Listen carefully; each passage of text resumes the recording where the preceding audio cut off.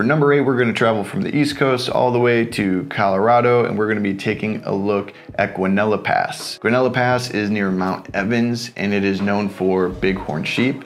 And that is where I got this photo. And this particular herd of bighorn sheep was right off the road. But with my 150 to 600, I was able to keep my lens at 150, shoot it at 5.6, and I was able to capture this one photo. A lot of details in the eyes, a lot of detail on the face. I probably could have jumped it to uh, 6.3. Mainly making sure that the eyes were sharp is my go-to. The only thing I wish wasn't here was this other sheep. But as far as the experience was to be able to be so close to a group of or herd of bighorn sheep and them not mind at all that we were there to spend that amount of time with them and see how how they interact with one another. It was really cool and that's why this photo made my number eight.